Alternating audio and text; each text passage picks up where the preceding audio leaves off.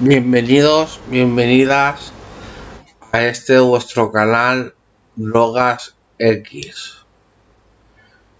Vamos a ver un vídeo donde una presentadora de la televisión española pone en aprieto a su corresponsal que este está anunciando los test de droga de cómo se utilizan.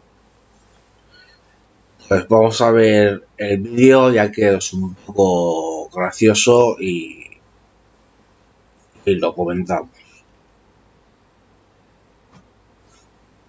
Con estas tiras que tenemos aquí se pasan por la axila, en este caso, que suele ser la parte más sudada de la ropa que se pueda llevar en un momento dado, y el sudor es el que nos va a dar el nivel o sobre todo la droga que hemos tomado. En concreto, José. este sirve para medir la cocaína, el cannabis, las anfetaminas y otro tipo de drogas. Dime, Pilar. ¿Podemos hacer un ejemplo? ¿Te atreverías a hacerte este test en vivo y en directo?